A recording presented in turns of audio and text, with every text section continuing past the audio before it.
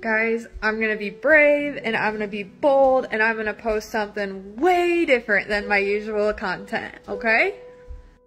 Alright, so I have struggled with anxiety and depression for years and years and years. And one year ago, I gave my life to Jesus.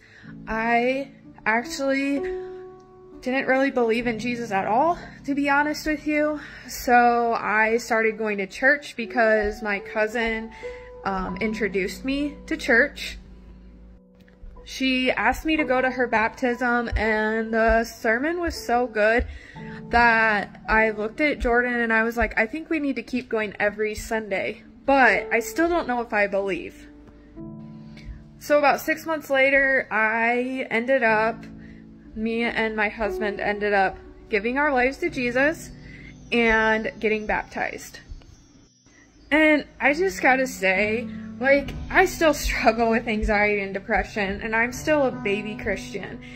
But it is so nice to know that I am not alone. Like, I always have God there with me every single day. Last night, I couldn't sleep. I'm in, I live in central Illinois.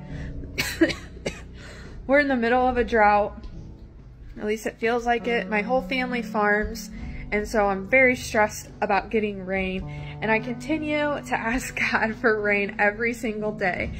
And last night I was just laying in bed thinking about how he has a plan for us no matter what and no how no matter how anxious I am about if it's going to rain or not he already has a plan for us. He already knows what's going to happen.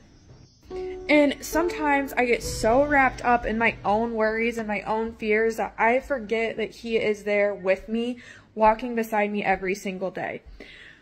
So I decided to take all of my favorite Bible verses about anxiety and make a five minute journal. And so this is a 31 day journal, and every day it has a Bible verse about anxiety. And this these verses have been so special to me, um, and ones that I've really relied on when I've been in a very anxious state.